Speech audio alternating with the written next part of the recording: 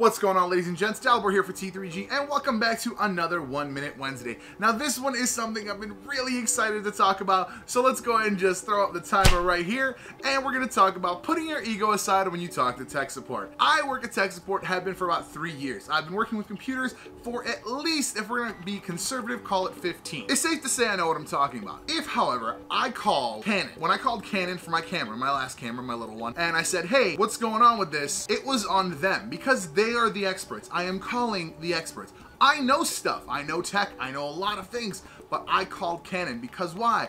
I was calling the experts because I didn't know what was going on. When you're talking to tech support, put your ego aside. You may have five, 15, 30 years of technical experience.